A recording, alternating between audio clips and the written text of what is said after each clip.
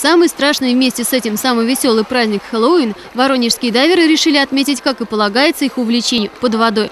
Только на одну ночь, с 31 октября на 1 ноября, стирается граница между миром реальным и сверхъестественным, и вся нечистая сила спускается на землю. Но если жители разных стран, традиций и вероисповеданий борются с коварными бесами на земле, то отважные подводники взяли на себя смелость изгнать злых духов с дна воронежского бассейна. Дело это шуточное, а потому и сложное. Дайверы знают, шутить под водой опасно. Изюминка в том, что подводники, в общем-то, достаточно серьезные люди.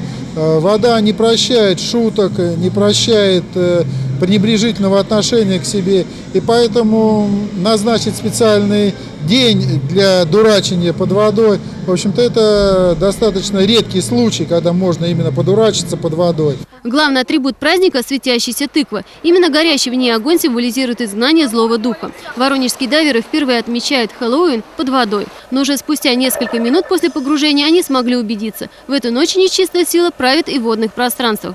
Тому подтверждение – мутная вода. Да и саму тыкву накануне праздника было найти не так-то просто. Из-за заморозков и проливных дождей этот год выдался явно неудачно в плане сбора тыквенного урожая. Поэтому, чтобы купить тыкву, пришлось заплатить за нее в три раза большую цену.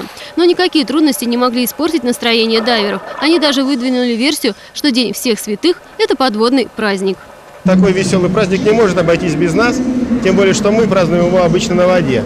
А если учесть, что тыква на 90% состоит из воды, то нужно сказать, что это наш друг, товарищ и тоже бади-партнер, как говорят дайверы. То есть похоже на дайвера, да? Ну да, если экипировать соответственно. Похоже даже на водолазный шлем старой конструкции, который раньше одевали специалисты, погружаясь на глубину. Наряды – это еще одно отличие Хэллоуина. В этот праздник стремятся облачиться не в красивую одежду, а наоборот шокировать всех своей уродливостью. Ведь и нечистая сила должна дрогнуть. И дрогнула, судя по хорошему настроению подводников. Все, что мы смогли, мы сегодня разогнали. Все остальное осталось э, разогнать там, если какие-то мусор есть, то это не наша забота. Мы нечистую силу уже разогнали. Так что приходите, ныряйте. Всех с праздником! Юлия Политова, Тарас Рынза, Виктор Израилит. Сегодняшка из Воронежа.